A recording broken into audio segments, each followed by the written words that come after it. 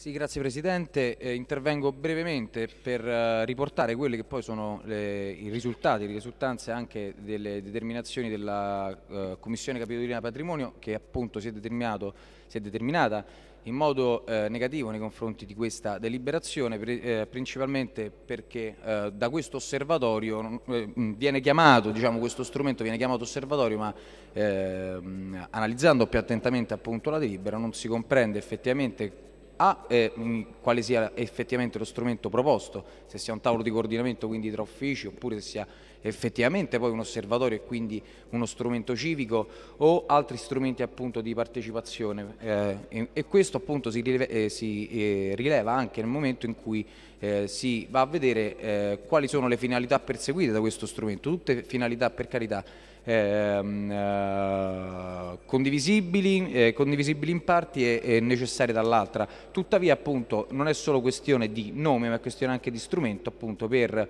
eh, definire anche poi quali siano le eh, determinate finalità perché alcune finalità possono essere perseguite con uno strumento e non con un altro.